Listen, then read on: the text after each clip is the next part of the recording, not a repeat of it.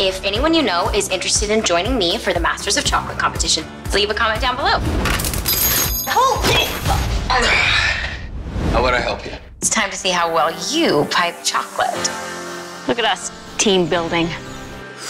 Even if something is right in front of you, doesn't mean you always see the whole picture.